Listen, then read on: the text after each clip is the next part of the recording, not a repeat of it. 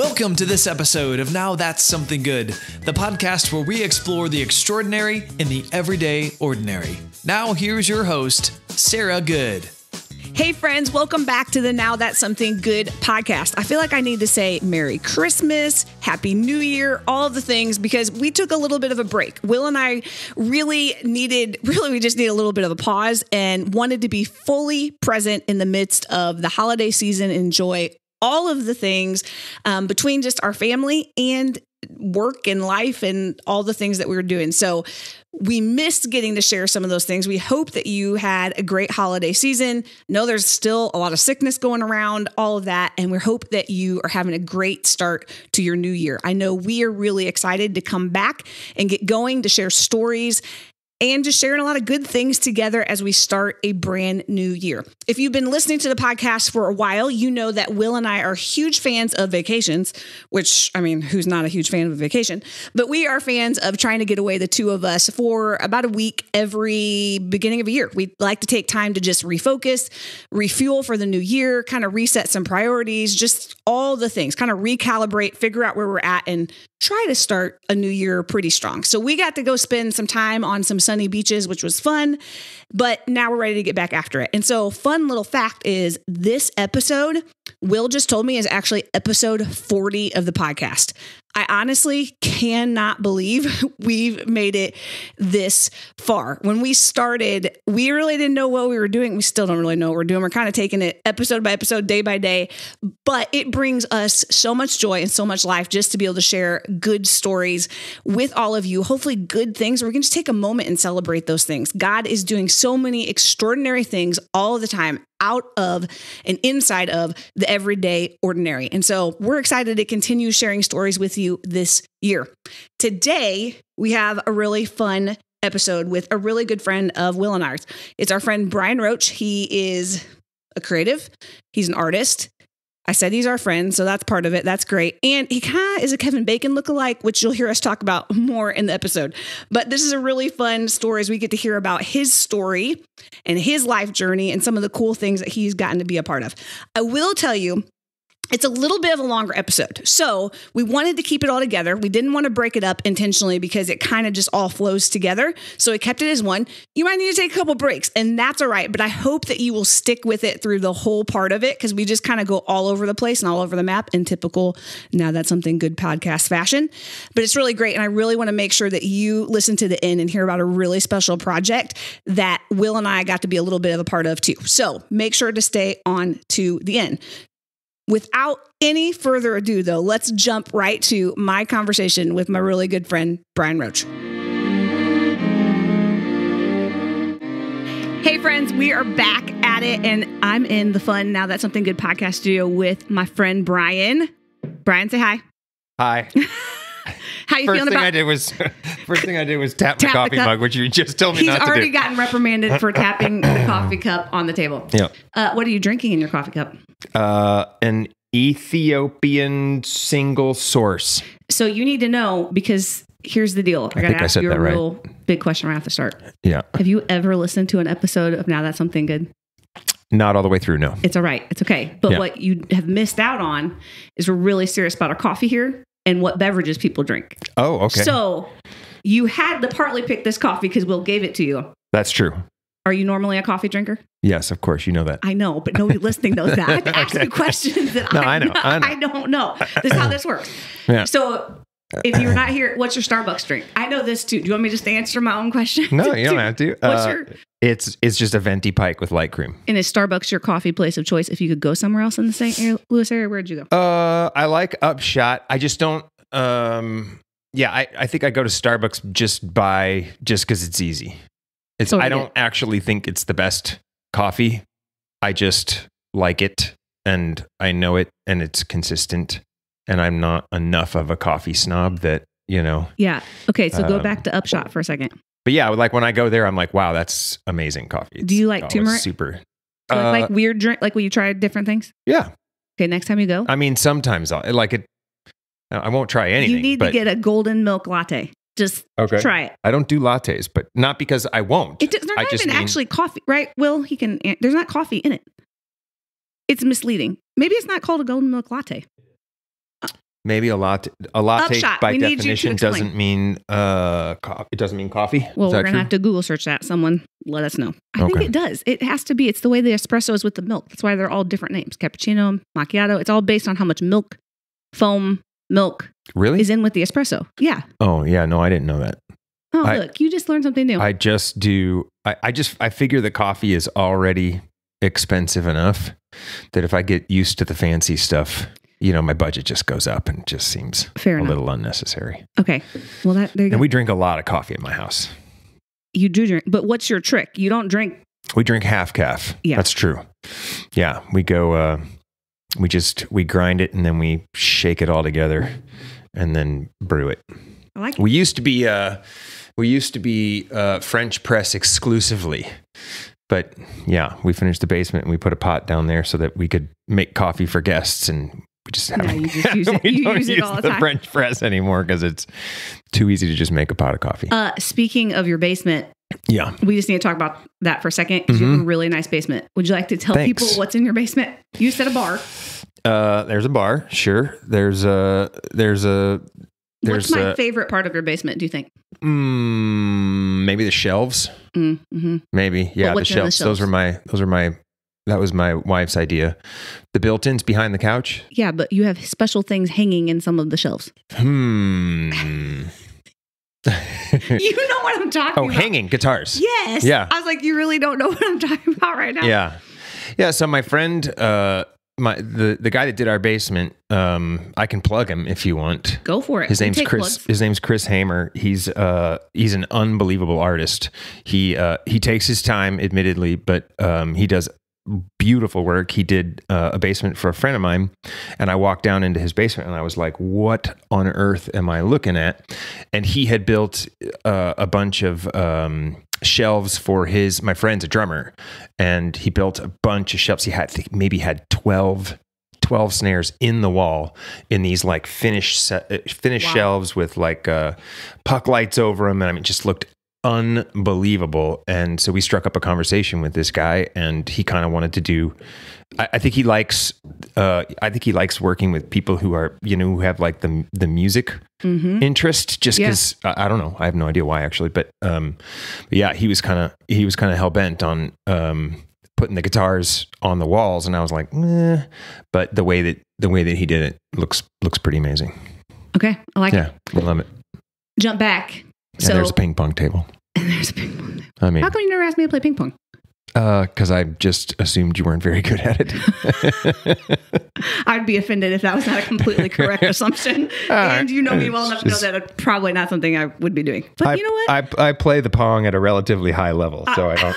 oh wow! So not only am I not I'm not good enough to play, not play with you, I couldn't hold my own. No. I actually find it really therapeutic. So I will hit the ball back and forth with absolutely anybody. But I do prefer um it's more therapeutic for me if I'm if I'm hitting with somebody if who the uh, person can is actually 'cause- competent, so that way you can just sort of hit it back. Like I could care less if I compete, although that's fun too. But um, Wait, what do you mean you could like you're?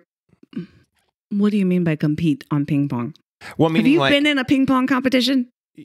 That's not what I mean. I mean if we like keep score and play. First of all, I have, but not like a formal one. But my my friend and I actually did go to. Uh, I'd say maybe three or four uh, on three or four occasions. We went to the.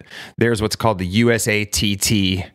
Uh, organization it's uh, i think it's united states association of table tennis or something like that and they meet there's there's chapters and i think there are at least two or three in the st louis area and those people are not playing around i mean we went in there the first day and brad and i my friend uh, we both got beat by seven year olds and 70 year olds like it was That's amazing. it was insane but we got better quick Seven-year-olds. yeah, because you just sort of underestimate people and you realize it's a very, very different game when you take it seriously. Look, see, you kind of surprised me with that answer. Okay. I told Bryan before the podcast because I can't imagine that's interesting. that I, well, maybe not the most interesting thing you told me. Yeah. But I said I'm hoping he will tell me a story I've never heard before. That was Yeah. close to one. Okay, so go back for a second. Tell us about your family, your day job. Well, you're not. You're just your job. What do you do for a living? Uh, for a living, I'm in marketing, um, creative execution. I call it brand communication design. Uh, I own a small virtual agency called 21 Republic. Um, and yeah, we do, uh, well, whatever. I don't really think we need to talk about 21 Republic, but um, It's kind of interesting what you do. yeah, I've it's fun. I mean, we have uh, we have clients interesting. from it is interesting. yeah, we have clients from all all different uh, industries. Um, we usually our entry point is usually brand identity design, hmm and um, So if somebody listening has no idea what that means, put it in. uh, logos. Okay. Yeah, a lot of times it's just a company who either either they don't like their logo or they just they just want to change their look a little bit. Um, I've used the phrase "dress for the occasion," so a lot of times um, our, our our ideal client uh, has been around for a little while Mhm. and maybe maybe has been growing on you know I'll call it borrowed graphics Okay. you know someone that they know or you know whatever and uh you know either that or they're working with an agency that's just not you know that's just not really cutting it right and so what what we do is we build visuals that align with you know um how companies want their business to be perceived okay. it's that simple but um i mean it's not that simple but it's that simple It's just sit down and sketch a couple things and you're ready to go. yeah Okay, basically. Do you have a family? do you have anybody else that you would like to talk I have about? now. I feel like I'm in, I'm on Wheel of Fortune. I have uh I have a wife. Her name is Julie. awesome wife. Yeah. I have two girls. Um, one is from a previous. Her name is Alexa. She's Mhm. 25. You didn't ask me about their ages, it's but right. I'm You telling can you. You can share. And uh, and then Julie and I have a baby girl. She's 13. Her name's Stella. I didn't say that. Yeah, Stella. yeah. Stella is one of my favorite people. They're all amazing. I am surrounded by ladies at the house, uh, you are except surrounded. for Winchester, who's my little Shih Tzu. yeah, you can't leave out Winchester. Yeah, he's He's pretty a amazing. big part of the family. Yeah, He might be one and he's the favorite. only dude in the house. So, Yeah, you and he really little- doesn't care about me, and he takes all of the attention that I used to get from my wife. So, but in all fairness, he's way cuter. So I, I I'm- I don't know that I can comment on that. it's probably not entirely accurate. It's pretty close. I love it. Do you want to tell people how we know each other? How do you know the good family? Um, I can't remember where we met. Um, but I, can't remember where we met. I think it was at Two Rivers. Yeah, so You we go were- to church together. Yeah, of course. No, I was kidding. Um, yeah, so we we both attend Two Rivers. Well, you don't really attend Two Rivers. You do. I do Wait attend there. I don't really attend Two You don't we, attend. You come sporadically. sporadically. Yeah, certainly this last year I'm it's been just- sporadic, but um, I'm always there in spirit, and we watch are. we watch online a lot, um, and then of course um, I'm I'm there. We're there anytime we can be, and uh, and then I'm on the platform you are, yeah. every once in a while. That's really how we became. I think I'm the I'm the person who you waited longest to tell that they that they That made that they not true. made the worship team. you were also the person that made me wait the longest when I texted them and asked them to audition, and then totally No, I just freaked out. me. I didn't. I didn't. oh, you. We're not going to tell that story. I did kind of ghost you. Yeah, You I did, did. ghost me. That's true. It was you were the person I think that didn't want to join the team but wanted to join the team all in one time. It's very confusing. Yeah. Bryan came on the part of Two Rivers for those of you that are Rivers people listening when I was the worship leader. Now I have a different job. Oh yeah, that's true. Yeah, different era. Gosh. And you ignored me. Basically, I tracked him down. He walked by right walked right by me in the lobby. Basically, there's a bunch of other people You know that were always like, because "Hey, you're intimidating and unapproachable. didn't think there was a chance you're going to make it through this podcast episode without you, knew saying that at some point. that. I know. It's Well, people need at to know. People need. People, Well, people need their own feelings validated, right? they're they're walking through and they're thinking, I don't know who that lady is that runs this place, but she's intimidating She's and so unapproachable. And intimidating. until someone actually validates their, Their feelings? Yeah. right? They're just they feel alone in a dark closet with with their fears. well, thank you for making them feel seen and Yeah. heard. Appreciate that. But so yeah, you're not the whoever you are, you're not the only one. so I felt it too. you, you what you need to know about Bryan and I. Oh my gosh, that's ridiculous. He's actually kind of scary for me to bring on this podcast because I don't really know how to explain the relationship that you and I have. It Mm. really, I basically adopted you as the older brother that, but you pick, because you do pick on me quite frequently. Fair enough. And I'm kind of like the annoying kid sister who, you know, tags along. You start stuff and now you're stuck with me. I think is pretty much what I told you. Yeah, yeah. Stuck That's with me forever. that's pretty accurate. Uh, yeah, we, we, it goes good. I think uh I think Will uh for those who don't know your husband Yeah. and Julie my wife have agreed that that we that, that we chat a lot because our significant others are tired of listening to That it. is pretty much true. They I did say that. some truth like, to that maybe Bryan and Sarah just talk to each other because they're tired of they can't listen to us anymore. yeah Hey, you know what? We got great things to say, Bryan. yeah it's Not our enough. fault. They can't keep up yeah anymore. truth Anyway, okay. So I need to talk about something going way back. Okay Like way, I don't know this because I was not firsthand. We've only been friends for a few couple years, right? true yes So this is going back to your, I think, high school day. I don't know how far we're going back. high school days Yeah. Okay. You need to talk about your theater experience. mm. what Well, actually, that's this is what I want you to I love that you're bringing that up I well, because I'm going to go somewhere with it in a minute. If you think hard enough, you know where I'm going to go. I'm going to take a poll in a minute. okay But you were in theater. Okay, so back up. So at the end of the day, you're you are very creative. Your whole world has been around this. We're going to talk about this. Very musically okay creative, innovative, all the things. okay So where did the music? Where did the music stuff come from? We think it's my grandfather, our grandfather. So I've I have two brothers. We're we're all musical. Uh, my younger brother um, was on, gosh, I think it was Murr Records. He was he was a professional music. He still is. He's still a professional musician. Um, but he had a he had a record deal. Uh, put out uh, a couple of amazing records um, in the worship world, and uh, and then my older brother, who I would say is arguably the the most skilled musician of the three of us. I think Mark would probably agree. I don't know that I don't know that J. Michael would, but um, who's our older brother, but uh, he's just crazy good. He's crazy good. So we're all three musical. Um, I would say that I was the late bloomer, especially on the instrument side. Okay. Um, my brother was playing guitar. I- My my older brother has played guitar and piano since I can remember.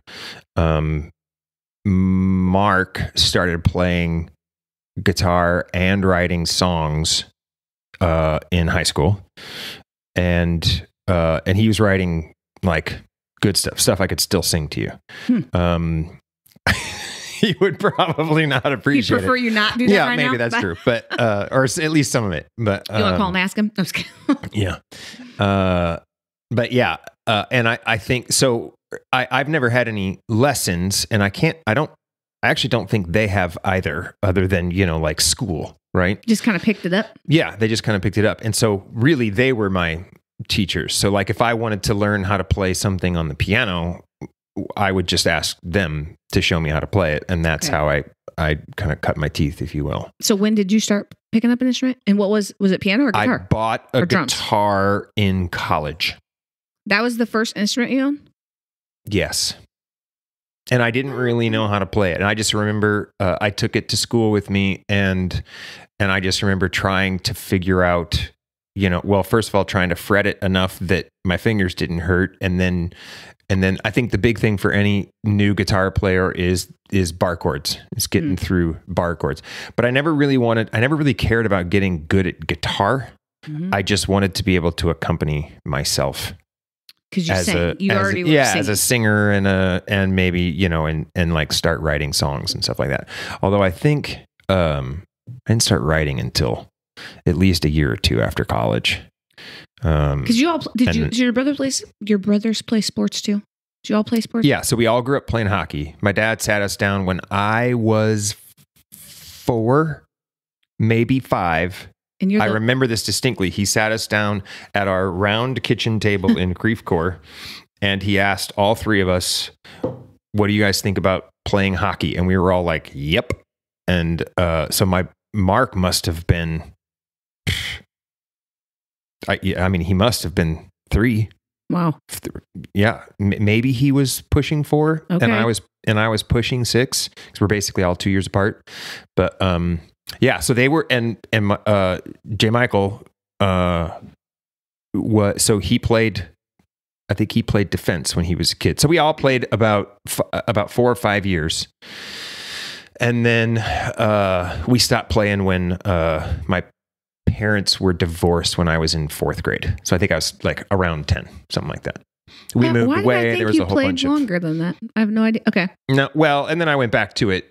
Um, maybe that's but when I was a kid, you couldn't like hockey wasn't everywhere like it is now. The schools didn't have teams, okay. so you know we moved away. We came back. By the time I went, I started going to high school. Uh, we were out here in Wentzville. I think the Francis Howell district had a team, but no one else out here did. Now, now everyone does. Where did you go to high school? Wentzville? We've already joked. That's what it was called back then. It was yeah. It was called. It, it- well, it was. It was still. It was called Emil E. Holt, but nobody Okay. called it that because it was the only. It was just Wentzville High School. Okay. WHS is what it was called because it was the only one. None of Wentzville was there when I was. I. It's it's been a really long time. It's crazy. That's, that's crazy. Okay, so somewhere in there though, you picked up Mm-hmm. Did you do theater, musical? What was? All, did you act too, or was it just all the singing musicals? Um, I mean, obviously there's acting, in musicals, but yeah, like, did you I- ever do I just did straight acting in college. theater yeah. things? So, uh, my first experience, like in a play, is that was it fair to Yeah. start with that? Yeah, Okay, my yeah, yeah. first experience in a play was in sixth grade. Uh, I did. I was in choir. Um, I had a defining moment in sixth grade choir because uh, I got in trouble, and Denise Risner, bless her heart, who I actually thanked on my uh, first record because uh, I don't think I would have done any of this uh, without her encouragement. Um, but I got in trouble in choir. You're gonna, I can't believe I'm gonna tell this story, but uh, uh, This is a story I haven't heard. I'm yeah, excited. Go ahead, yeah, tell it. I Oh, got in trouble. That's not surprising to me. Mm. Fair, fair. Uh, I got in trouble. So after choir class, she was like, "I need to talk to you." And so I, I walked up. She usually sat at the piano when she taught class, and so I walked up to the piano, and I, you know, it was an upright. So I'm standing on the, I'm standing on the back side of the piano, and she's sitting at the piano, and she's basically scolding me for, you know, whatever. You don't remember what you did? Hmm. What were you doing? Oh, I think I was just talking, or Oh. you know, I mean, like I was a little bit of a class clown shocker. Uh, anyway, um, I really had to go to the bathroom, and that's exactly what I did. You- I swear, I peed my pants right there, right there, getting yelled at, and she, could, so she's yelling at me. I'm telling you, this is the truth. So she's she's not yelling at me, but she's sitting here scolding me, and then she just looks at me and she's like, "What is wrong?" And I'm like, "Yeah, I peed my pants." I don't. I think that's exactly how I said it because I didn't know how to how else to say it. I'm probably getting wrecked Wait. because it's a little silly. Sixth grade. But- I'm gonna need a sixth grade picture of Bryan because I'm gonna need to get the full picture in my head. How old are you in sixth grade? Like 11? Mm, Ten? tsh- yes, something Oh like my that. goodness. 11, 11, And you- 12. you- you- that was the first year that I was that I was told. That was the year Footloose came out. So that was the first year that I started being told that I look like Kevin Bacon. Mm, I'm gonna come Even- back to that. I'm so that, glad that you But, said uh, that. Anyway, so uh, that story was unrelated They to the musical, you. Wait, of course. hold up a second. Hmm, In sixth grade, they told you you look like Kevin Bacon. 100%. So you need to know. We're gonna have to post a picture of Bryan. How many times in your like? How often? So it's, it started in sixth grade. You get asked often. How do they ask you? How do people say it? They just say you look like Kevin Bacon. What do they say? I mean, I've been around sometimes when people say it to you, but Yeah, it's usually just has anyone ever told you, and then I t- I tend to just finish their sentence. It all depends on you know what kind of mood I'm in, how they approach me. Sometimes I can actually tell from across the room the way someone's looking at me that that I know what they're going to say when they when they approach me, and when he is the more like the more popular whatever his current project is, Yeah. the more I get it when I'm out in public so like I remember, I think he was off the radar for quite a while, and that show, The Following, came out, Yeah, and I didn't even, I didn't watch it. I've never seen it. Um, and I, I really the the way I realized that it was out was all of a sudden people were saying that to me on a daily Yeah. basis instead of occasionally. And then someone was like, "Have you seen The Following?" And I'm like, "No, I haven't seen it." his look in that movie could be the or in that TV show is probably the closest I would say if I would ever say you look similar would be. I could see why people would say that when that came out because he had his shorter hair. I mean, I still have friends who who will send me something on Instagram and be like, dude, this is you, or and and sometimes I open it up and I'm like, oh man, So that looks so much like me. It just depends. It just depends. Yeah. So funny. So, do you want to tell people right now your social media profile picture what it is? They can't even find. No one can even see what you really look like. Oh, it is You actually much- Kevin Bacon. Yeah, that's true. Yeah. Well, that's uh, a- a buddy of mine told me. Uh, it, I don't know. I I think he was just giving me trouble, but he's like, you just need to own that. And then I think I don't know, maybe a couple of months later, I think I just saw a photo, and I I just it just occurred to me that it might be funny, and it really cracked me up. I just changed my profile. Uh, pic to it and uh he texted me touche i was like and so i've gone back and forth Uh, the craziest thing is that when i update my photo with a picture of kevin bacon i will still get people who know me well So who crazy. will comment like it's me they'll they'll say something about the photo and i'm like really man like I'm just gonna do that now for forever. Like, it's, when you, you post know, one, like- like, oh, that's a great picture, Bryan. it's not it's not that close like i get i get the association but it's you know we don't look that we'll much let the now that something good audience be the judge. I'm going to put do a side by side in our stories. We'll let them see. Bryan, actually, that'd be great. We can post a couple. Is this Bryan, Kevin Bacon, Bryan, Kevin Bacon, and they can decide. Stick them Oh, next no. together. Everyone, everyone would figure it out. I don't know. They don't know Uh, what you look like. he and his brother came into town. Um, I don't know, probably four or five years back. They they were at Old Rock House, Oh, and I was so close going down there and just bum rushing him and being like, "Bro, like I've I've been hearing this my, My- whole life, uh, since but I chickened out." grade. Yeah, I That chickened is out. literally ridiculous that for that amount of time, people would think you look like him It- or similar enough. Like Yeah. that's real. People change a lot. Like especially guys. I feel like, especially like when you went to Yeah, like right? usually when from going from adolescence to an adult, like yeah. yeah, because that's That's that's, a long time. How old was he when Footloose came out? Mm. Maybe he was younger than.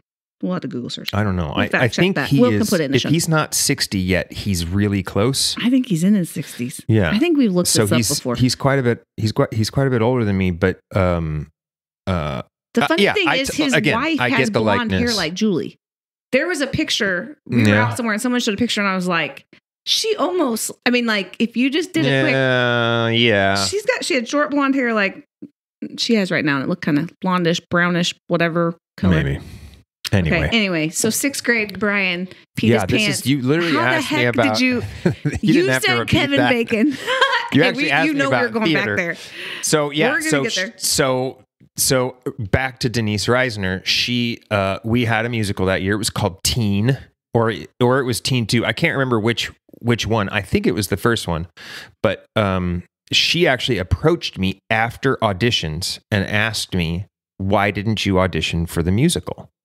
And I don't remember my answer, but she encouraged me to sing uh to to do like a like a post auditions audition in choir and she just gave she gave me a solo in the in our next choir class and then cast me as the understudy to the lead Okay. so I don't know. There were maybe three performances, and and I guess the way that it worked was I, instead of just being the understudy, I actually did. I played the part one time, and then the guy who had the lead played it all the other times.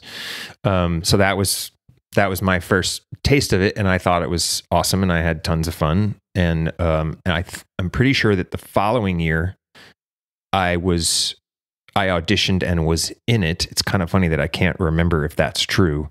I Um, mean, that was like a really long time ago. it was. Unfortunately, it was a really long time ago. But I don't um, remember anything from sixth grade. But yeah, so for sure, theater, like theater, theater. My my favorite thing, my favorite uh, performance style ever is choir. I think probably always always will be. I just have. Um, I had an amazing choir director in, uh, well, obviously Denise, and then Jan Null at Wentzville, who I I think is retired. Um, also, just an unbelievable influence in my life. But just that experience, that four years, it was something that I looked I looked forward to, and I just I loved. You know, we toured it. We um, in college, uh, uh, we did a choir tour in um, Europe. So I mean, you know, I've sang in I don't think just- I realized you were in choir that much. yeah, I sang in just just unbelievable cathedrals. I've just I've sung. It's just a really cool experience because it's Yeah. just it's just nothing but voices. Voices, and, yeah. and you learn how to blend. You learn how to listen. Um, you know, you learn how to you know just serve a bigger thing, and you know, I don't know. There's just something really really cool about it. No, I agree. Um, we but went. then theater was definitely my my second love. Right, Did it they make kind of came sight alongside read? it. did you ever do Oh, yeah. any of the competitions, like where you go, Oh, yeah. you sing all together? Yeah, and our choirs went to I, our our choirs Yeah. went to state every year, and we got good scores. I don't really know. I mean, honestly, I have no idea like where we were on the grand scheme of things. Yeah. but um, but uh, but it was a good it was a good choir. I think credit to Jan Null. I think he just he was the type of person that um, people gravitated toward. So anyone who could sing kind of wanted to be a part of it, Yeah, right? that's cool. Choir's not always a cool thing to do, but No. in when when I was in high school, like there was a first of all the choir was big, and there were you know popular people, athletes, Mhm. goofballs like me. Everybody was ever like there were a lot of people in in choir, and and it was and it was good. That's where we sang. Um, I think my junior or senior year, we did Handel's Messiah with uh, with a community choir. It's unbelievable, unbelievable. Okay, Cool. we'll have the swap choir story sometime, not on the podcast. We won't totally nerd out on that to make Yeah. everybody else who has no idea what we're talking about. Yeah, But yeah. the sight reading part, that was always the my favorite was when they made you do it as a whole choir, and there'd always be some baffoon that couldn't do it, and like literally, like Oh yeah, how I hard is about this? that. Like, fought, like yeah, at competition, they oh. would just give you a random Yeah. piece of music, and you just, everyone just had it would to. also simultaneously that thing every time made me so nervous. I know how to do it. I could still totally forgot about that. Yeah, those were all. I don't, and I don't think we were ever any like So, that good. The if you college don't know what would have been better at it. reading it. It's basically like reading music cold. Like they would give you a piece of music and you had to sing it without you've never seen it, never heard it, and you had to follow along to it. And so Yeah, you get a I mean, pitch. yeah, you get a it. general pitch It's- that everyone works off of, and then you just It's one, two, three, terrifying. go. I always had to do it as choir, but then that was always part of our finals. We'd go up all by yourself for everybody else and sight. Yeah. Not my favorite thing. I can But do in- it. But in college, I mean, you've you've got you know you've got a group of people that can basically just Oh. just do that. I mean, it's Yeah. crazy. Like the f- if you can't sight read by the time you've made it to college, and especially if you're a music major, you're you're probably not gonna Yeah. last. But or you're at a small school. Yeah and are desperate and you at least have some other talent to back up on. Hmm. Okay, so we gotta this is my poll time. I need well, actually Oh, poll time. poll okay. time. I need well back up. Were you a lead in a musical ever? I thank you for asking. You're that. welcome. I have only ever been I a lead. I just inadvertently set him up perfectly so for that. Thank you for asking so I can humbly tell you that I've only Uh. ever been the lead. What was your favorite lead role, Bryan, in your small high school in well, Wentzville I- that you first were? of all, I haven't been. Well, first of all, that includes college. Thank you very much. Where did you go to college? Uh, Culver. I went to Culver Oh, Stockton ta- for I- two okay. years, and then uh, uh, And and then I went to K State for half a semester, or for a half a year, one semester. Did you go to do theater or music? What did you go for? Uh, I was music and theater. I was a double major uh, at Culver, I and know we then talked about. I don't remember. and then I think I think I think I switched to maybe just actually I think I dropped the music major shortly after I realized I didn't want to learn theory. Yeah, you and I. Uh, that's we. Yeah. Yeah. and so I was just a theater major, and by the time I got to K State, uh, I realized that a theater degree was going to be basically worthless Yeah. for for anything that I really wanted to do. Yeah. So uh, so I just I just dropped out of college. That's the really unfortunate things about any of the majors in the arts is that unless you really are like, I want to go be a teacher, but you still need an education degree or whatever, or you're going to be on Broadway, or you're going to really be an actor or whatever, or you're going to make and have a music deal, which you did. But like, Yeah, what are you going to do with it? It's, sad because I think the it's arts really in general, right? It's like it's like going to film school and thinking that you're gonna, you know, make Yeah. movies for a living. It's like that's uh, unfortunately in in all of those worlds, you gotta you gotta grind it out. Yeah, Um, that's a it- good. marketing is even similar, right? Like you can't just go to you can't just go to college and leave with a design degree and expect that you know if you don't have yeah, I mean, I think it's a little bit different, but um, yeah, you still kind of got to get in it and grind it out. And to be quite honest with you, if you've got talent, um, you don't. You also don't need the degree. You just you just you just get in there and get after it. And yeah, fair enough. Okay, so what's your favorite musical? Les Mis, Really? probably. Okay. Um, I mean, probably. I. I was. Um, you don't have to second guess the answer. That's fine. That's it. That's it. yeah. No right or wrong musical answer. I feel like. I think you it would've been is. like Cats. Sorry if that's your favorite musical. Listening. yeah, that's offensive. Would have been like. or like some random. I would say I probably know like seventy-five to eighty percent of the libretto of Les Mis. Really. Like I could start singing it for you, probably right now. right No, now, we want to not hear. doing it. No. Okay. Um, Tried people. look Tried. down. Look down. Those are the first two words. Uh, I actually, it's it's more like uh. I think that's the first two words. So the it, yeah, you're right. Yeah. The the second any of that stuff starts, I instantly cry. I cannot. I like. I Ugh. know what's going to happen. That it like Mm. in the music really is very. I it gets. I can't even. I Yeah, can't I was obsessed the with first the- part of the musical. I was obsessed with the music in high school. I listened to. So, have you heard the complete symphonic recording? I'm sure you have. Uh, yeah.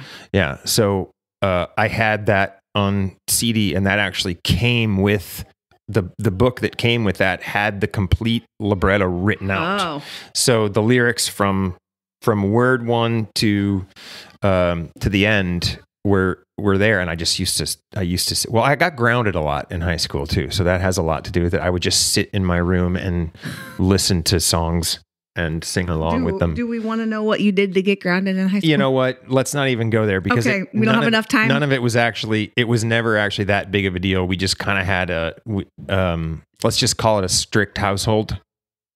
Understand that. I Yeah. did I tell you? Well, I'm not going to tell you my story. I'll Yeah. tell you that story another time. But yeah, I understand. Strict. Okay. Well, Yeah. you had a lot of musical time because you were in your room. On it. Yeah, yeah. So I listened fine. to that. I listened to that a ton, and I think I just, you know, I just fell in love with it. And um, there was a dude that uh, played the Marius part, who I thought had the coolest voice Mm. On the planet. and uh, but I didn't. I never. Uh, I never really cried listening to it because I was just obsessed with the music and, Yeah, and yeah. the melodies and all that stuff. I never really. I don't think I ever really absorbed the story until I saw the movie that they made with Hugh Uh-huh. Jackman and Oh, yeah. um, and I Anne Hathaway. Bald. Yeah. bawled, No, I. bawled. I was a mess, and we we went back maybe three or four days later, and I uh, we went with someone else, and I bawled. I think worse, and I was like, "This is the worst story that I've ever like." You're just it's It just so, kinda- it's so yeah. There's just something that's a little bit more the the the reality of the story is so much more accessible in the movie than it is Yeah. you know that in the theater. It's just it's theatrics Right. right? Right. It's really about singing. You know, like if you if you listen to the movie soundtrack in your car, you're like, this is this is a way to ruin my day. It's miserable, right? But, right. You know, rightfully so. But it is. It's really not as much about singing well as it is about storytelling. Yeah. Yeah. And I think that's why it hits so much harder. I, I don't know, but Sto- Yeah. I mean, when you can tell a good story, right? That's the that's the piece. yeah, You want to know a little known Sarah fact? I do. So, Is this going to be something I don't know? No, but you could probably guess this. It's not that profound. I felt like you just built it up to be this bigger thing. because Now you're going to be let down when I tell you. So, we have a joke. I talk about I'm not a big crier. I cry at really good things, but not like I'm not just super overly emotional. Really good music anytime. I can't like I cannot get. We were watching a movie last night that's a musical. I'm not going to say which one it is right now, but watching it, I I couldn't even get. It's so good. Greatest Showman. Literally, it's not the greatest showman. No. Although that does that listens to that music, it does something in you, and it like it. How I emote is it makes me cry every time. Yeah. Listen to it. The greatest showman. That is I'm a bit of a sap. Julie and I tease each other about how sappy we are. I mean, we like nothing wrong I will like random. I remember this is before we moved out here, but I remember I was randomly at like I was. I swear I was like vacuuming. I'm not even kidding. I was like vacuuming, and I don't think my wife was around, but the TV was on and Dirty Dancing was on. and I'm like, I'm like literally just like cleaning the condo or something. And the scene with the dance where they do the lift. And Oh, I'm like yeah. Standing totally- there getting teared up watching the lift, thinking, man, I have got to get, I got to get it together. This is why we, no we will reason. never watch a musical. We won't be able to watch Ugh. musicals together. I totally. Yeah. Uh, we were watching I, White Christmas. me, I'm a wreck. We yeah. got to watch White I Christmas. don't cry at White Christmas. It you told me that that first song gets you every time. in the army and Bing Crosby. I cannot get through the whole dang thing. And then at the end, and there's the little ballerina kids, and they're coming out. Yeah. We we definitely watch that movie several times every Christmas season, but it doesn't make me cry. So all of you listening, I'm going to need you to write in and tell us one if you like musical. You might we might have just lost half of you. I'm sorry if we did, but we like musicals. Fun, nothing wrong with that. Yeah, it's it's, pretty nerdy. It's okay. We can live with it. Tell us what your favorite musical is. But Bryan and I have a little debate going. Well, he, it's not oh, really a I love it. So Bring it on. He has not watched Hamilton, Truth. which for the last, I don't know how long it's been out 15 years, 10, 10 years easily, whatever. It's, it's only been It's two or been three. one I of the most critically, two or three years. That's been the pandemic. It's been longer than that. Two or three years. It's been out longer than that. You haven't even listened to it. You won't even one First note. all, in my defense, Uh, Go try to have a I- defense for this. I did I did start it. Yeah, you were like, I fell start asleep or I didn't like it or something crazy. Well, Stella wasn't interested, so That's we what- we okay. started it as a family, and Stella was like, "Ugh," and I'm like, "Okay." Um, uh, but yeah, I, I don't know. Um, I get it. I get people love it. Um, I think that I've heard enough of it to know that it's maybe just not up my alley. That's fair enough. I could be Fair wrong. enough. Like maybe, maybe it would be worth watching, but uh, but I do think that what's his Manuel dude is extraordinary uh, and and uh, one of a kind talent. you do um, like so in your I will defend you. Mm, You do like him. You just Yeah. don't like him in Hamilton necessarily it's just because your fa- one of your other favorite musicals that I say is not a good one necessarily.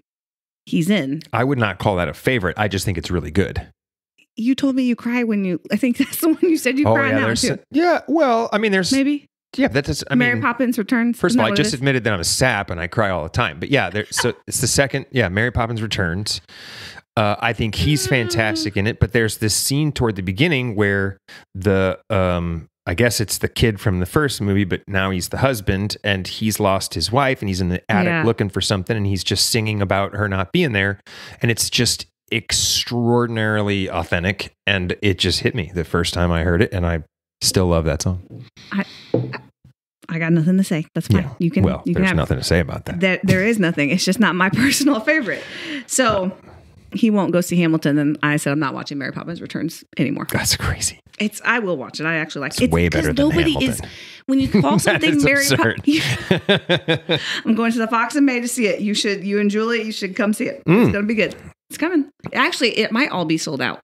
honestly don't I don't think that I would be interested like if I'd have, if I'd have gotten to see it if I if I'd have had the opportunity to see it with him Yeah. in it I think that's one thing but I don't know I, I don't to me like this is going to be um completely this is going to be a, an absurd comment but to me They call those a hot take. To me Your hot take on something that's not. Okay, go ahead. Yeah, t- to me, going to see that play without him in it is kind of like going to see uh, that Alanis Morissette monstrosity thing where they sing all of her songs. you know, on It's like seeing White Christmas with is Bing so Cro- without cringy. Bing It's so cringy. I can't watch. I can't watch ten seconds of those people singing Alanis Morissette I- song. What's that called? It's called Jagged Little you're- Pill or something like that. Oh, Like after her- her. I'm sorry Yeah, for how are you anyone who loves the musical, but I it is just the worst for me. It's the worst. I- so it's probably nowhere near it. as bad as seeing or seeing Hamilton without Manuel is probably nowhere near as bad as that. But um, Probably not. that's a strong opinion, and I shouldn't say mean things like that. But it's okay. You can have a strong opinion. but it's garbage. That's not something good though. No, just kidding. we only do good things here, Bryan. Only I mean, good, it's happy things. really good, man. Those guys, they're so very No, good. no, no. Okay, so we need to talk about somehow you got from. I'm going to say sixth grade peeing your pants ten times. You should have never. Why are it. you repeating that? Oh my gosh! My favorite thing you said so far on this podcast. Okay. From there, theater, college, somewhere along the line, you're like, huh. What did you think you were going to do? Well, okay, we got to get to this music career part. Yeah, I had a totally unrealistic What, part did- of that. what was so? the, I ha- I've been in. Uh, I was only in a few mus- in, in a few musicals. So in uh, I, I'm I'm going to tell you them because Okay, you go ahead. asked. I did I ask. was in. I know one of um, them, I think. I was in Once Upon a Mattress. Okay. Are you familiar with that? Yes. Yeah, unbelievable, hilarious show. As the lead. Uh, well, yes, I was the minstrel. So Is- there is there, it's it's it's kind of an ensemble cast, but there Uh-huh. is um technically the lead leads Uh huh. are So, uh the princess uh I remember her name Winifred because it's Winifred. yeah. Uh, but I don't remember anybody else. But um technically they're the leads, seen that one but the minstrel's Okay. got pretty good because he's the basically the story. He's the narrator, I think, of that uh, musical, Okay. if I remember correctly. And then Oklahoma Mhm. uh, played Curly. That's arguably a lead. uh, and then in college, um, I was in Camelot, played Lancelot, arguably a lead.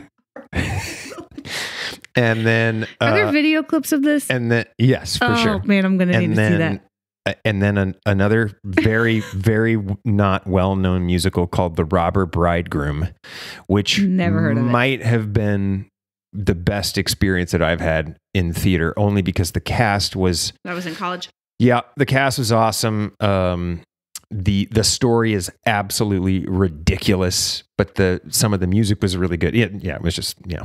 Anyway, Okay, so in college, that's it. you're Ooh, and I was in Godspell. Forgot about that. Oh, Total ensemble there. That's fun. That's a fun. Arguably not a lead because there's really only one lead in that. So you really weren't The It's Jesus. Jesus. The is Jesus. the lead story. Yes. Okay, so David White. how the heck did you go from there to being signed with Columbia? That's a big jump. I know. I gotta get somewhere. We gotta get to this record deal. Bryan, if you Okay. don't know, Bryan has had a rec- you have a whole music career. I had a record deal. Had a record deal. He, Uh, which, yeah, I want to talk about. All right. So I got out of I got out of college, um, and I had my acoustic and I had a keyboard and I was writing some songs. Uh, oh, it's funny. So uh, so the maintenance person at my apartment Okay.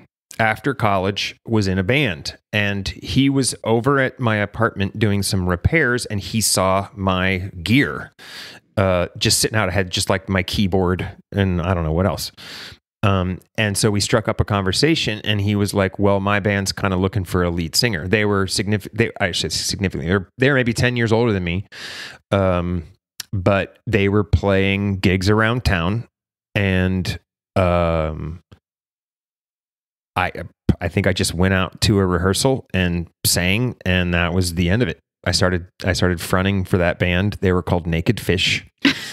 I swear.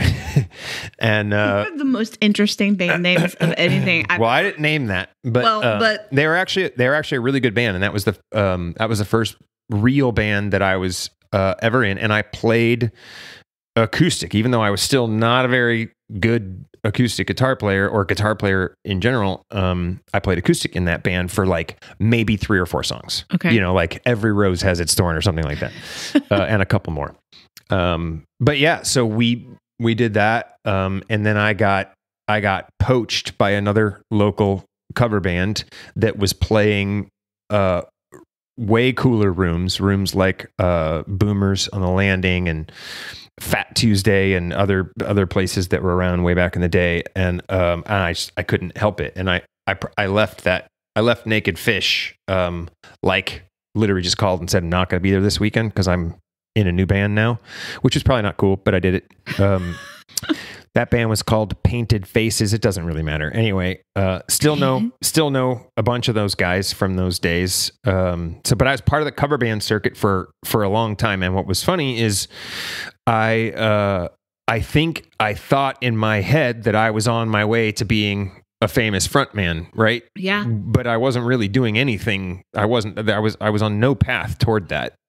Um, And that's what you wanted. To, like at that it's point, I, that yeah, was it's what I wanted to do, but I just, um, I just, I just, di- I didn't realize that I was, I, you know, I, I just, I was just young and I just thought like somebody's going to walk in and be like, dude, that singer is awesome. And let's like all of the thing. It's just like understanding zero of the things Yeah. about how that process actually happens. Right. So that's what I had in my head. But, um, at, at some point, um, I mean, I, I don't remember what year it was, but it probably would have been, um, uh, it was, it was just a couple of years after I stopped doing the cover band thing. But, um, this guy brian regula i'll never forget this uh, he boomers changed ownership and there was this lucky strike battle of the bands that was going to happen at the at the club and he said hey man i think you guys are really good and you should this was the new brian was the new manager Okay. um, and he was like, "You guys should, you guys should uh, enter this competition or whatever it was." And I was like, "Eh." I said, "Well, first of all, I don't, you know, um, music as a competition kind of seems strange to me. But then also, like, this is for original bands. We're a cover band." And he was like, "What's that mean?" I was like, "Original bands like play their own music. They write their own songs. They play their own songs." Um, and he was like, "Oh, okay. Do you do you have any of your own songs?" I said, "No." And he goes, "Well, can you can you write some?" I swear, this is how the conversation went. And I was like, um, yeah, I guess we could. And so I signed our band up for this competition and we had no songs. Love it. Um, and so I, I wrote, I think I wrote five songs, maybe six in, I think we had 30 days or something like that. um, uh, between the time that I agreed to do the competition and talking about just giving yourself a deadline, right? Yeah. Uh, so we signed up for the competition, and and I was like, we're going to write some songs, and so we wrote five or six songs and played them at that competition. I think we got like second place, which really who cares? Um, but that's that's how I got the that's how I got the songwriting bug. That's how I you know, and I I- mean. Mark was already doing it a ton, so I, it's not like I didn't think that I could do it, but that's how I that's how I figured out that um uh that's when I learned that I that I you know that I could at least craft a tune from beginning to end. yeah. Um and I think I've told you this, but one of the songs that we played uh at that competition, it was called All That I Wanted, Okay. made made our Columbia Records debut. So we recorded that in Vancouver years later when um so I thought that was pretty cool because it's like, cool. you know, Yeah. that was probably that might have been the second or third song I ever wrote really. Nuts. Um and uh yeah, there was a producer in Memphis that liked it and then uh it made the cut when we recorded the when we recorded the the first uh Autovane album. So it's fun. so how did you get from getting second place at this contest competition to a record deal? Uh, so that band was called Fly Nova. Uh, we had some personnel changes um, and some guys that just knew a lot more about what I, I mean. I'm going to say this. It's going to. I I don't want to discredit the people that I have always been surrounded by really good musicians. So no discredit to anyone else, but Fly Nova. Um, we some guys joined the band that you know had just kind of been around the block. One had been Yeah. to Europe and back, toured with a, a pretty good sized band, and just kind of knew a little bit more about what it would take to kind of take things up to the next level. Yeah. And then um, while we were working as a band, I was doing like acoustic, sh- uh, like acoustic shows in the evenings at bars. One of them, which was Boomers, and Yeah. my friend Ryan, who used to sing for a band called Greenwheel, uh, was there. We struck it up. We hung out, had a conversation, and he said, "You guys should open us, or open for us sometime." At I think they had just signed to Island Records Okay. um, or you know, within the last like six or eight months, they were working on their first album, um, or they were getting ready to tour. I don't know, but they when they played Mississippi Nights, they you know they would have. And when they played anywhere in St. Louis, they would have a good crowd. And I think at that time, pretty much Mississippi Nights was the only place that they would play because it was Yeah. big enough. So, um, anyway, so we stayed in touch and we booked a date uh, in um, I, I don't remember. And uh, when we opened for them, um, their A and R guy from Island Records was there, and um, Greenwheel's manager. Tell, tell everybody what an A&R guy is. Oh, an A and R guy. So it's I think it's artists and repertoire is what it sounds like is what it, sa- it stands for. Basically, an A an A and R guy goes goes works for a label, goes out and looks for talent, uh, and they're in charge. They're they're they're in charge of finding and developing Okay. talent. Yeah. Um, that's the simple version of it. Um, anyway, so he was there. Greenwheel's A and R person from Island Records was there, and I remember Greenwheel's manager walking up to me and saying after our set and saying, "Good things are happening for your band right now," and I was like, "Okay, I don't even know what that means."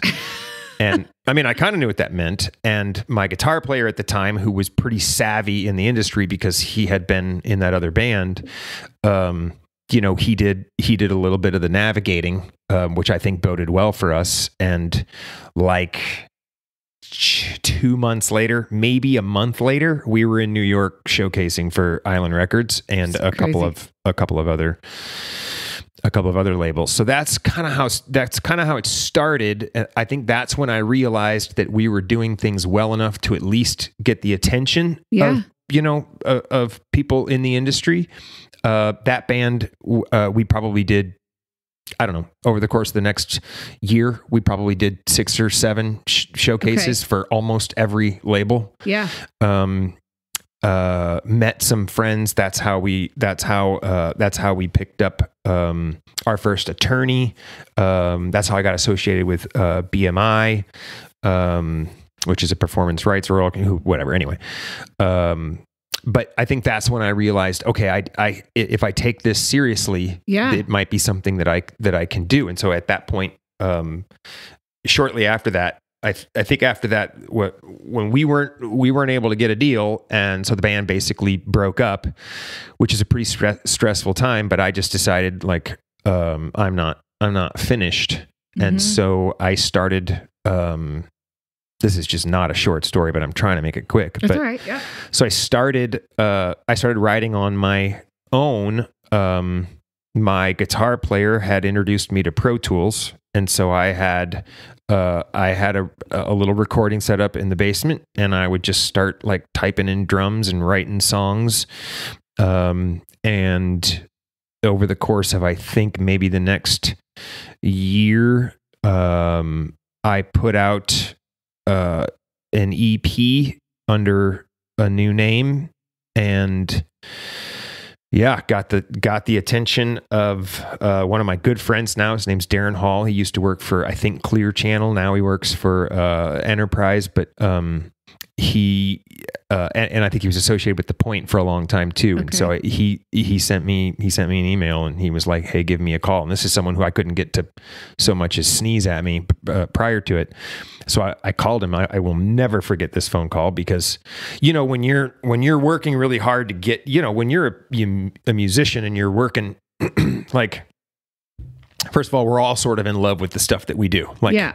you know, it's it, it it's it's a process to get to the point where um, you're actually critical of what you Mhm. create, um, and I, I think I was closer to that by that time, but you still you still sort of know what it feels like when you're you're you're gunning for attention, you're trying to get somebody to notice what you're doing or like what you're doing or whatever.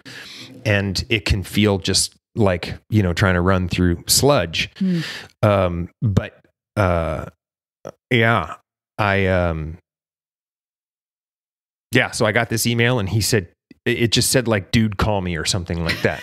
And uh, it was darren hall so i'm like i'm gonna call this guy right away. So i picked up the phone and i called him and he answered the phone dude i love your new band. That's Wow. what he said. And i was like uh okay. And he was from that point on instrumental in in putting you know instrumental in our success he put uh, i say success but you know what i mean he put us uh, in front of some of the biggest acts on the planet when they were coming through town Yeah. um, he gave us just absolutely every opportunity. He he uh, opened doors uh, at the point, introduced me to everyone over there, which is an unbelievable group of people. Most of them are s- still there, honestly. but um, yeah. Um, so so and somewhere at that point, I I picked up a manager uh, and um, and a new attorney and he helped me uh, solidify the lineup of of the band and start showcasing for a second go round. Mm-hmm. And we went to Chicago and we played this. Uh, we played this. Uh, let's call it a festival. It was called Mob Fest, and uh, we played at the at the Double Door in Chicago. And David Andrioni, who is still a friend, um, he was there from Columbia Records, and I think I went home after that show. There's, I'm skipping like thousands of details. It's all right. It's hard. It's a long story. I mean, this was over how much time? I mean, from the time you started the band. I mean, how much time? And you're in your you're in your 20, 30, 20s, 30s. How old were you in those? At the time, when we yeah. when we signed, I was 31. okay. When we signed, I was 31. Um, and so, I, and I think I quit. I quit my job to write full time. I think, or to, or like, I quit my job to pursue a record deal. Um, in, oh my gosh, I I quit my job in in, uh, I think it was five years. I think Wow. it was five years. Okay. So this is the stuff that gets. I want our people listening here. In that moment, you quit your job. I mean, this people don't make it in music. Like you, if if Yeah. you have no, I mean, it's hard. It is Yeah. not an easy thing. It's not like you really wake up one day and are like, "Oh, I'm going to get a record deal." Like it happens for very, very, very, very select few people, and it's a hustle. You said it earlier. Like it's a grind to get anywhere Yeah. in some of the arts industry across the board, which is sad because there's a lot of really, really talented people. Thankfully, we could spend a whole podcast talking about technology and stuff, and YouTube Yeah. and all that stuff has made it a lot easier for people, I think, to get stuff out there. And you can yeah, and it's a skin thickening experience for well, sure. because you're going to hear no way more than you're ever going to hear. Mhm. Oh, that's awesome. Um, so what was it like? Like, what was literally going on in your brain when you're like, I'm going to quit my job and I'm going to do? I mean, because that's a pretty big. You have family at this point. You're married to Julie, right? Wasn't have- married. You weren't married yet. Wasn't married. Got married. Uh, got married two months before we signed to Columbia. Actually, Okay. um, But you we were weren't- together. We weren't married. Uh, but yes, we were together. Um, and yeah, I mean, Probably I remember. it was moving in that direction, right? Oh yeah, yeah. I mean, I, I mean, you we were- knew. Yeah, when I I was in Nashville, I moved to Nashville shortly after I met Julie, and I was only there for a short time. And uh, when we when we agreed that I was going to um, move, I was going to move back up to St. Louis. She had a condo, and uh, we were we were talking about me moving into the condo, and I said under one condition, I'm never moving out. and and it still took me five more years to propose to her, but we knew. I mean, yeah, we just we just knew. I mean, I yeah, I could literally talk for hours about how amazing she is, but Yeah. um, so uh, what, but what were we talking about? So you knew all that stuff. You're going to get whatever. You're in a Oh, relationship. yeah. You've So, got, it's yeah, more than so I was just working you. as an all art director. Yeah, I- just hinge on Yeah, so I was doing I was doing the to do. design stuff, and I was in a I was in a job that was just it was a good job, but it was just you know it was just it was just kind of not a not a um like as far as work is concerned, it was fine, but it was just not a good place. You know, uh, I don't want to call it toxic as much as it was just not a very well run environment, and I just wanted out. And Yeah. um, and I and I just I had a conversation with Julie, and I was like, hey, I you know I think it's time that I just get out of this and start working. You know, I'll find I'll find my own clients and do a little bit of. Uh, and I think at the time I actually had one client that I was doing side work for, and I'm like, you know, I'm making enough money doing a little bit of this side work that I just, I think I would I want to quit this full time thing. Yeah. And she was a thousand percent in. She was just like, Awesome. you need to do it. You need to do it. Um, and so I like I think I started waiting tables uh, to supplement what I was Yeah. doing. You know, so I was doing graphic design, waiting tables, um, and writing songs. And and that was it. And I did that, I think, for the better part of five years. But I mean, you know, that's writing songs, that's recording. I met amazing musicians. Uh, uh, one of my uh, one of my old friends, uh, his name's David Beeman. He owns a studio here in town called Native Sound. Um, unbelievable. Un, probably one of the most extraordinary artists I've ever personally known, just because he can play and do anything. Yeah. and he's a writer and he finishes one good idea and he just moves on to the next. It's just absolutely it's just absolutely insane.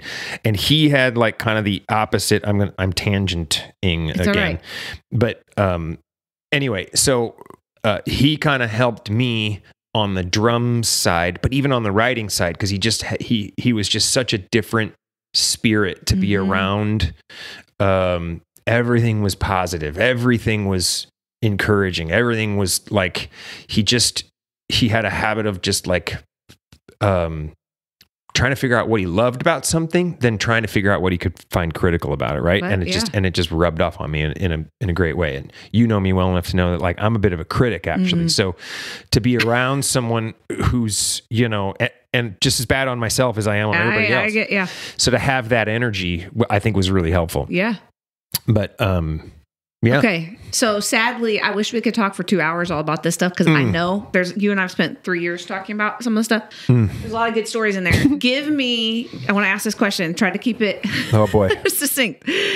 What would you say you got the record deal? One of the top highlight moments of the run after that, being a recording artist, touring, all that stuff. What would be a couple? Give us a couple of the top fun moments, surprising moments. Um,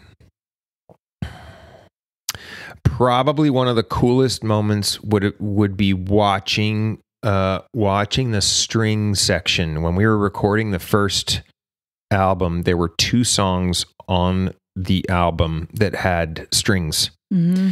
and this uh gosh i wish i could remember his name i just i actually just found the handwritten stuff a couple of months ago but um so i worked with we were in vancouver and i worked with this gentleman gosh i wish i could remember his name uh who basically helped arrange the string parts and then about halfway through the recording process uh we went back to armory studios in vancouver and recorded just you know professional it, and it was just i was so excited it was it was absolutely incredible to watch uh, because the you know here are these here are your songs and you're you know they're yeah. they're sitting out there just play they like they're pros they just walk in you put music in front of them and they just start playing they've never heard it and That's really called sight reading. E- That's right. well done. and uh and you know, he's kind of responsible for, you know, getting them to do what we're collectively Yeah. thinking. Yeah. Um and that was like there's video of it just me standing there with my hand in front of my face just going I I cannot believe what's happening Yeah, right now. It was just so beautiful. I mean those instruments are they are just so pretty. It's completely out of my comfort zone where I can't play anything like that. Um, yeah, so I think it was a four, it was a four it was like a quartet on one song and then and then an octet on Okay. the other song, and it was just it was just fun.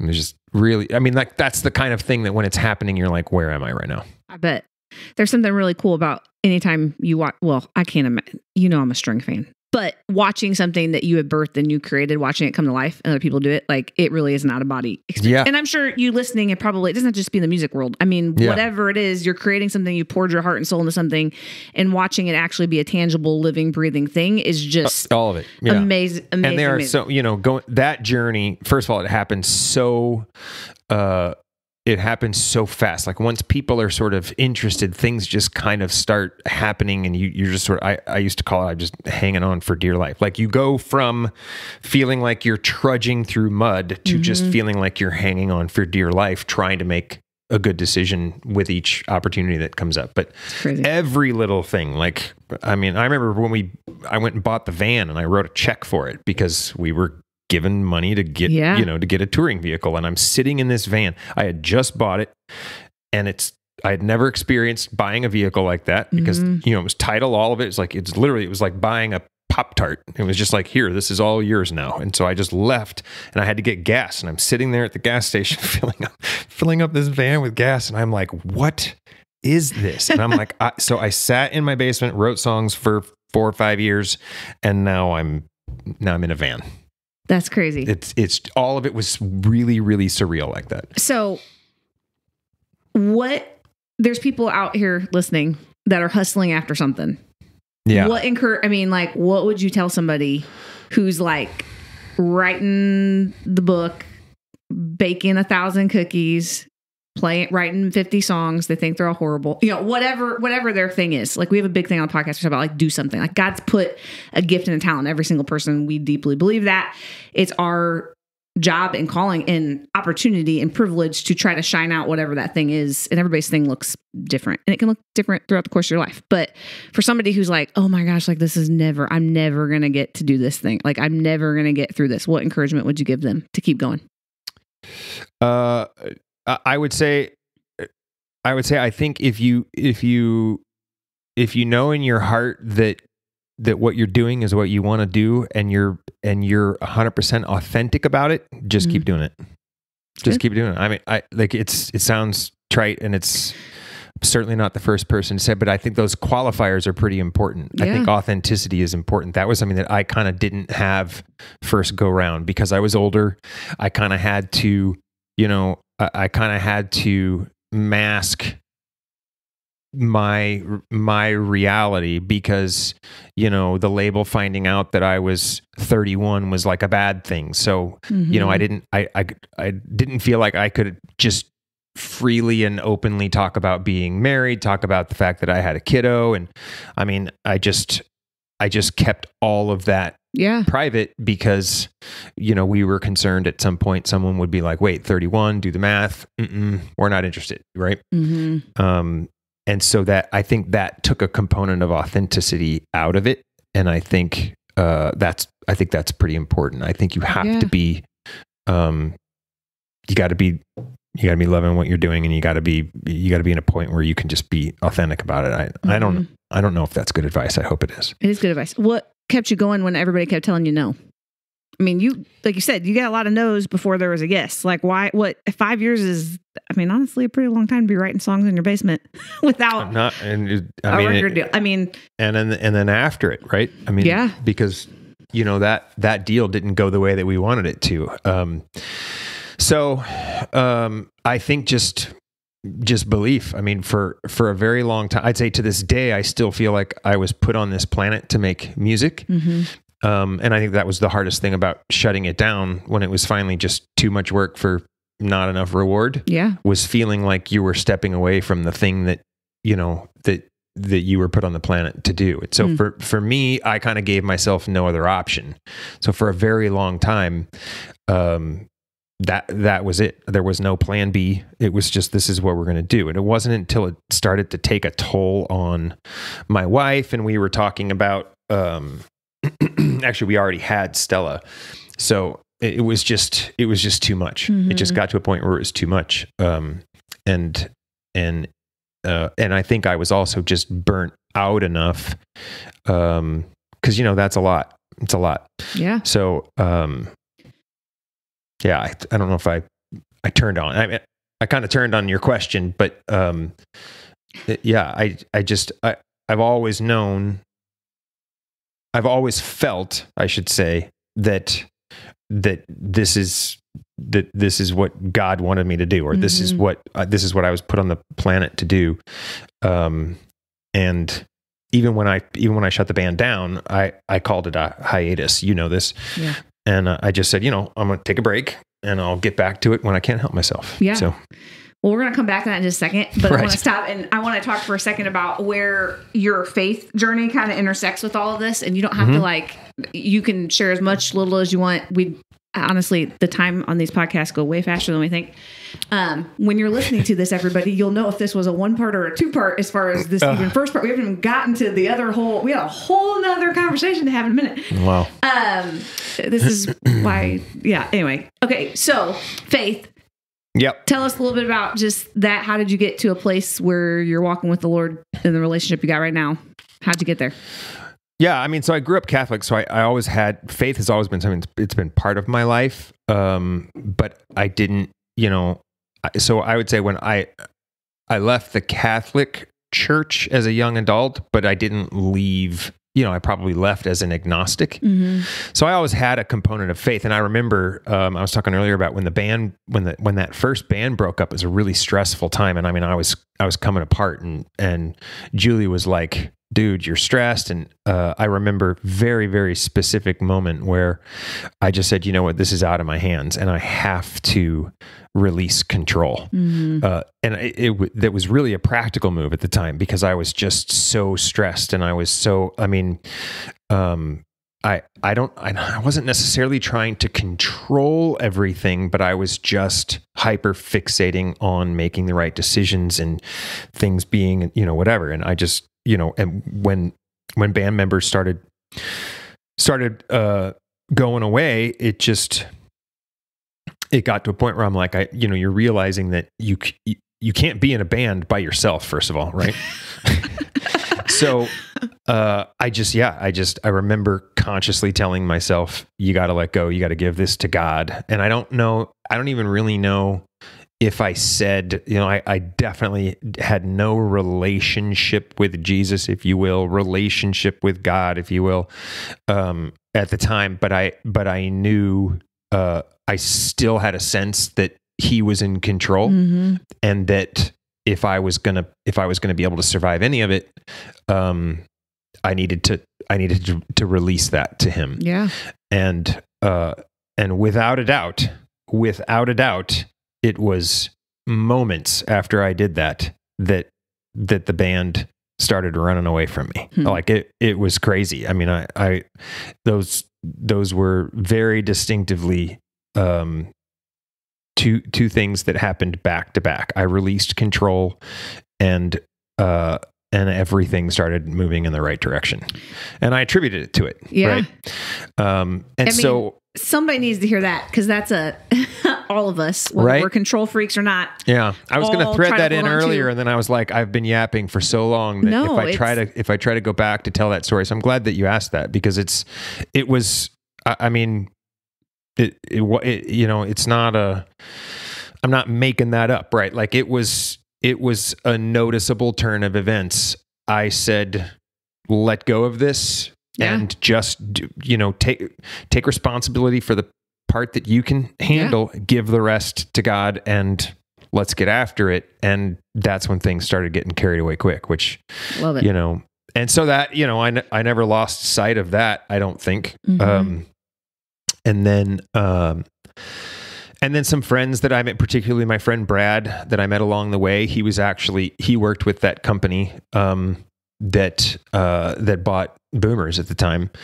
Uh, that's how I met him. But I remember I remember sitting at a Buffalo Wild Wings, and he was just telling me um, just how settled his heart was because he had a relationship with Christ. He believed, um, you know, he he uh, he's actually very very well read with regards to the Bible, um, and so you know he just sort of like led me along that path, kind of Mhm. encouraged me to.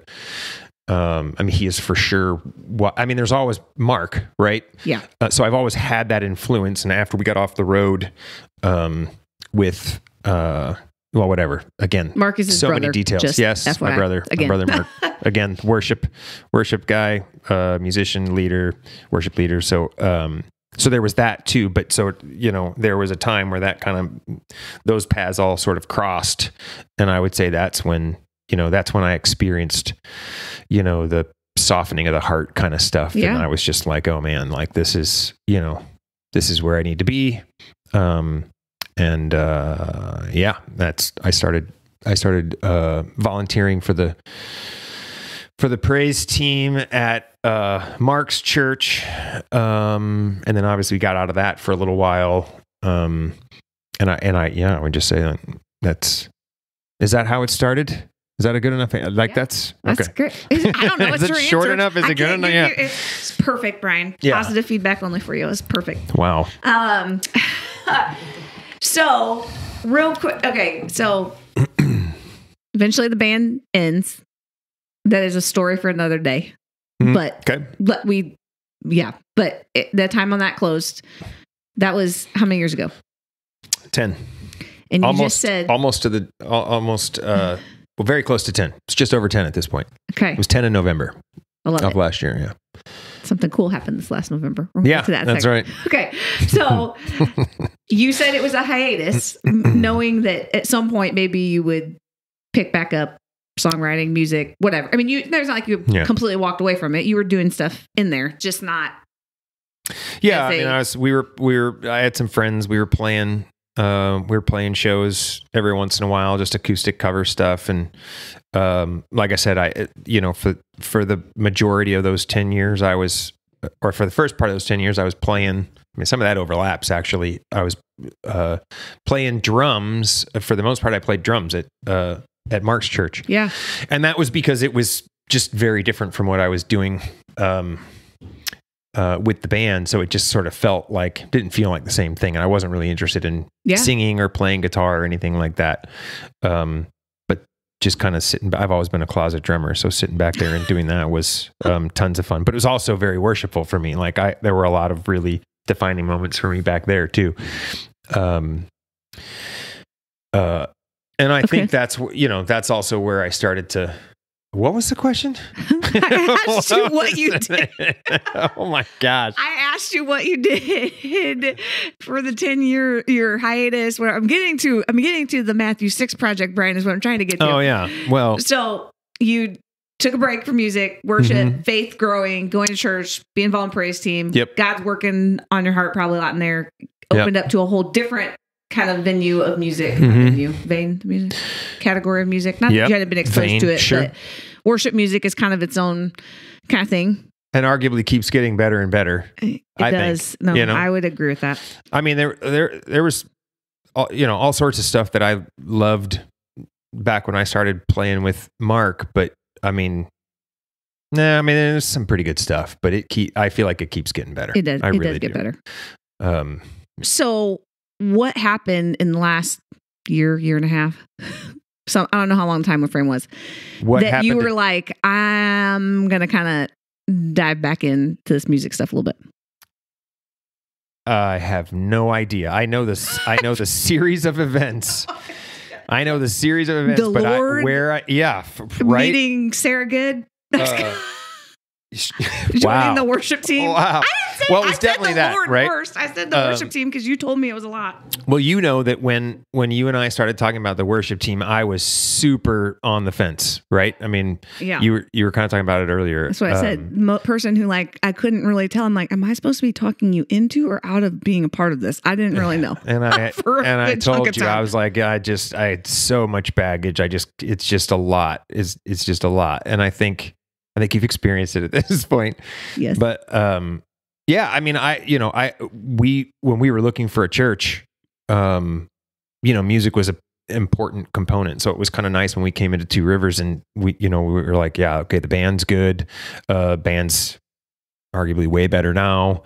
Um, but um, that was an important component. And then when you know, when I felt like to me the band was like okay i can sit here i can listen to this it's worshipful i can sort Mhm. of you know i this is a good way for me to start church and it's not a distraction like we had definitely been to other churches where i'm like this is bad enough that it's it's just too much of a distraction Yeah. and i just i can't i'm not it's not worshipful uh, worshipful for me so um that was a good start and then the band got better and um and you and i met and then of course there was kim who was basically the catalyst for all of it we have this friend who basically would tell me all the time, "Hey, my friend Bryan is really great. He wants to be a part of the worship team. Hey, have you heard my friend my friend Bryan?" And I was like, Yeah. "Bryan needs to come talk to me." I'm like, "I great. Whoever Bryan is, I'm real excited about, but Yeah. not gonna can't just yeah, she talk to me. definitely facilitated She a was lot great. of it, but, uh, everybody needs a Kim in their life that basically champions them and actually forces them to do stuff no, when you're not kidding they're not. but I mean, I, I think I was secretly like loving the fact that she was championing me, but I was also just kind of terrified because I just knew, you know, I knew that That's where I said that's You why I gotta be in the tracked right you down in the lobby because you literally walked by and I was like, she's told me like 50 times and this dude just walked by me. I'm just gonna have a conversation. yeah, And that's what kind of started it. Yeah, for sure. So, But um, that didn't start the. I mean, you started back in music at Two Rivers. You And it was worked really the production drum thing, song. right? Yeah, we worked on something, and then just we're gonna we're gonna do another episode. We're gonna to talk more about Matthew six because there's a really big idea behind it. But just give a little bit of the what happened to actually make you go. I actually want to do a whole nother album yeah, of a totally different genre than what you had done before. Yeah, completely different. Um, just give a little bit of the like the high level of like Yeah. how the heck did you go from I'm not doing anything musical to I'm serving at my church, I'm kind of doing this thing, I'm liking it a little bit. You're to, doing a great job. Just keep going. I'm doing a whole album. I mean, I could tell the story, but it's your story. Well, yeah, you're painfully familiar with it. Uh, A little bit Yeah, aware, I- it started with the production stuff, right? We had done the Oh Holy Night thing, um, and we were, you know, hammering my brother for Pro Tools help Yeah. because I didn't have any of that stuff updated, um, and so you and I sort of agreed, like, hey, let's. let- I'm going to update my production stuff. I can help the church with, you know, the the bigger events and then any other stuff. And so I, all of a sudden, I'm staring at Pro Tools again, going, man, you look familiar and you know sight for sore eyes kind of thing right yeah. And uh and then of course you I, i'm assuming that you want me to mention the fact that you sent me a text. I did not need any name recognition. well I, in all fairness that's where it was right? Like you you brought up uh doing a recording of raise a hallelujah and it sort of occurred to me that like we we could absolutely you know that happens all the time. Yeah. So like, why would why wouldn't we? It gives us some gives us a project, gives us something to do, and Yeah. I love the song. I like our voices on the song. Yeah. We've certainly been told that by enough people that it was like it just kind of felt justified. Um, but as I've said before, I I just I wanted to do something different, and so I think that's that's kind of how it all that's kind of how it all started. It wasn't. Um, and we only can sing songs that have al- hallelujah in it. That's my rule. that's how it started for a second, if right? it didn't have the word hallelujah, I will not sing it with Bryan. well done. There you go. So, So next week you're in the clear. oh, Yeah. Right. okay, good. I can sing with you next week. Perfect. Okay, good. We'll be fine. Um, we the very first song we sang was it was called it's Hallelujah. the yeah. Um, I just totally blanked on the dude's name. What's Leonard the Cohen. cover? Yes, of the very famous Hallelujah. And there's like an Easter version of it. Yeah. And basically, somehow, I still to this day do not know how I convinced you to sing that part of that song. that song because I this was only a think couple months into right. you being on the team, and I had had vocal nodules and hadn't even been. It was really it, we were that was yeah. I would I actually think that was the evidence. That was that was the evidence that you know that I really did want to, you know, yeah um, either that or it's just you know, it's just evidence of your persuasiveness. it's definitely Is that what it is? very Yeah. persuasive Yeah, when I need to knew. be very Yeah. good gift of persuasion. Yeah. I love it. Anyway, okay, so you we Mhm. just released this fun project in November. yep. Um, so basically, what I'm going to tell you all of you listening is we're going to give you a little teaser for it. Now that something good is going to put out a bonus episode where Bryan and I are going to talk way more in depth about the project, the heart behind it, where it came from.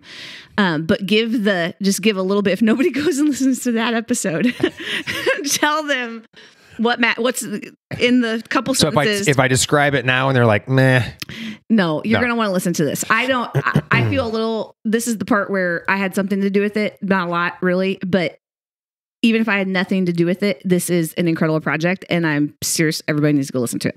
It's really, really, really good. Well, thank you for saying that. But Of- yeah, you, I think you had a lot to do with it. I mean, I think an important component for a creative person is to have, you know, have a peer to bounce ideas off of. And that for me, you know, uh, there's always my family, right? But Yeah. of course, they have to listen to the development, so they get tired of all of it so quickly. And I, you know, you get to the point where you're just like, I'm so sorry, but I just want you to hear this. Just listen It's like, like, oh, I'm cooking. Can you please? You know, it just. but um, but also, I mean, you're a musician, right? And you're a creator, so um, I, you know, I had, I've I've told you that if I if I didn't have you to bounce those, I mean, you, especially as a creator, you need a safe place? Yeah. to share what could be a bad idea, right? Yeah. um, and uh, when you don't have that, it can be a little bit of a challenge to sort of push forward and find the motivation or the encouragement or the validation, all of those things that you know Yeah. we creatives need to basically combat our imposter syndrome, right? Mhm. Um, and you were you were there for all of that. So, um, uh, not to mention, obviously, you know, you were. Um, you were you were the voice, the other the other voice of Raise a Hallelujah, other and and the idea behind recording it in the first place. So I love it. Well, it's a really cool project. Um, we're going to talk more about it. Go check it out. Bryan, this is what I need to ask you. Where do they go to check it out? they're gonna. Well, I gotta ask you several things. So they're gonna go to. You're gonna tell them. Where do they go to find it, Oh. Bryan? Uh, is it? It's Matthew6project.com. Com. Mm-hmm. Got it right. How, why does why do I have to think about that? I don't know. that should roll off the tongue. It literally though that thing. It was like all. I mean, you spent a ton of that last leg of November. It came out November 16th. There's a bit of a sprint. And it was a ton of, I think all of us, but definitely you obviously had way more time and stuff invested, but hit a wall. It was just like, yeah, and it's I, we- it's I done, joke but I joke that the project sounds like something that you know you should be able to finish in a month, which arguably it does. Uh, but there's just so much more that went into it, um, developing it and and uh, the learning curve, whatnot. But um, yeah, So- very proud of it. Um, and it's uh, you know I think it's a much bigger thing than just this you know just the ep that's out there right now um but yeah if if uh if folks are interested in in getting an idea of what it's about Matthew6project.com, you can go. Mhm. YouTube, you can find actually a really cool behind the scenes video that you should go watch and check out. truth Follow on Instagram, Facebook, Matthew Mm-hmm. Project, not hard to find. hmm Um, you can listen to it everywhere. pretty much everywhere I think. Um, yep Wherever you listen to music, you can find it. apple music spotify Yeah, go do that. Um, title if people want to go hear Bryan Roach the early years, oh boy what's the name? Of, You never said the name of the band. It has two different. Two, what do they look for to go hear your band that had the record deal and all that stuff? They want to go listen. Uh, okay, Auto Vein is the uh, it, well. So the first record, it's called Bullets and Bruises, and I don't know. I think Pandora is the only place that you can find that, but you could, you might be able to find that on like YouTube or something. Okay. Um, uh, and then Auto Vein, uh, which is auto like car, vein like you know Your blood, Blood, yeah. Yeah. um, that eventually became like toward the very end it became revolution one um, and so on apple music uh, and spotify and stuff like that i think the second half the the the um the second record and then the third ep are under that name revolution Okay. One. So people can go check it out. if you're so inclined You should go be inclined to go just listen to it. So you have a, you just gotta, you just gotta have something to give context for what Sure. you're talking about. so yeah think no it- i'm i'm proud of all of that stuff so i mean by all means go listen to it So Bryan, thank you for sharing your story. And we're Thank all you over. for we having could me. talk 20 more podcast episodes about random Bryan Roach life. we have countless cell phone hours to prove it we do, we do. But the last question we ask everybody Mm. is officially part of the podcast is the last thing you gotta do is you gotta tell us one more good thing, something good. It can be anything, story, product. I don't care. I don't, I'm not gonna give a too many qualifiers, but just tell us something good. Uh, one more good thing. Tell us something good, Bryan Roach. uh, and it can't be that the Blues scored twice in two You minutes to win say today. whatever you want to say. If that's what your good thing is, go for it. Talk oh, I it. want it to be something better than that. But well, that's you're a sort Blues of fan, so that that's was an that's an on the spot question. I want it to be. I want it to be more. I'm still writing. That's not a good. That's that is selfish. That is something. No, it's Is it? Is it? Is that a, is that a good thing that there's more okay. Matthew first six of stuff all, coming? good things need no qualifiers. They're just good. Okay. And the fact that you're writing is that's a good thing. You enjoy it. It brings you life, and hopefully other people get to hear it. Okay. I'll I'll say that uh, that each week more people are listening to Matthew six. It still feels so selfish. I wanted something better it's not than selfish because here's the deal with the heart of it. Because we you Just didn't actually say spot. what the heart of Matthew six is. What's Matthew? Why is it called Matthew six? Yeah, so it comes from the verse. It, it comes from Matthew six five through eight. Um, basically, just talks about um, uh, when you when you pray, Mhm. don't do it in front of people. This I'm literally going to simplify this, but uh, don't do it in front of people. Do it by yourself, right? Yeah. What God kind of already knows what you want. Um, go to your room, close the door, pray in secret. Um, God knows what you want, um, and it you know basically encourages us to spend alone time rather than you know uh, get out there and be spiritual in front of everybody so that you know everybody else can hear what you. So I, I had the idea of taking that idea that was about prayer and applying it to worship music. So it's you know Matthew 6 the Matthew 6 project started with the idea of taking big corporate worship tunes that were kind of designed to be you know large crowd moments or big Mhm. moments and stripping them down into super intimate, personal, sort of reverent Yeah. pieces. So that's what that is. They're amazing. And there's five cover songs, That's true. three Bryan Roach original songs. Also true. And so it's good. You can go, go listen to it. Literally, it will be, like I said, I can be biased because I'm involved, but not involved. I'm adjacent. Well, not really, but Yeah, you are. it's it's really it's really good and has been a huge personal blessing to me. So and to Will. And so go listen to it. Yeah, same. something and, And we've already heard um, pretty incredible stories about Yeah. about how that's um, how that music is impacting folks, which is very very different from So that's what I was gonna say. That's why it's not selfish that more people are listening to it because the heart is we want more people to be impacted by. It's not about Bryan or yeah the and I thi- I, think the idea about- of it is I think anybody can listen to the idea and listen to the execution and go I I want to do that and they don't you know Matthew Six Project doesn't have to be music uh, recorded or written by Bryan Roach or Sarah Good or I, it can be anybody. It's it's Mm-hmm. an idea of saying, hey, take this thing and turn it into a moment that's personal to you. yeah. Um, which I think was one of the things that was a little terrifying about sharing, is it's very very it is very very personal. Mhm. Um, but um, but I think that's why it's resonating. Um, Yeah. with folks. I've had a handful of people tell me that uh, they just cried listening to it. And I'm like, oh my goodness, I'm not sure if that was the idea behind it, but um, yeah, people just it's it's definitely um, it's a personal thing. It's it's uh yeah. It's really good. That's definitely something good, Bryan. See, it worked. Good. You shared I'm good. glad. Okay, awesome. Thanks for being here, Bryan. Thank you for having me. Yeah. Well, thank you so much again for listening to our conversation today with our friend Bryan. I really hope that you go check out the Matthew 6 project. It really has been something really special to Will and I. It's actually made a huge impact on us personally.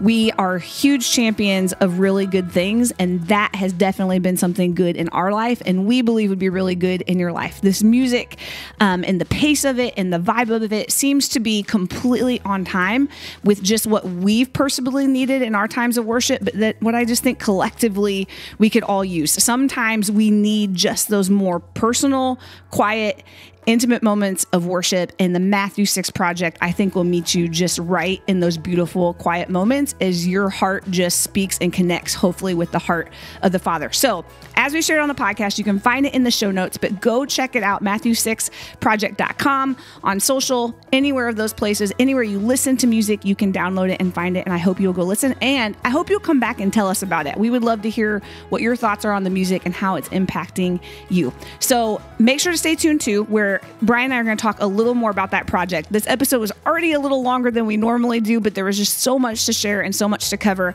And we would love to tell you even more of the heart um, behind the Matthew 6 project. So I hope you will join us back here really soon to hear a little more about that. And we'll also be back sharing more stories real soon. So have a great week. And I hope that you're able to go find and share a little something good with someone around you today.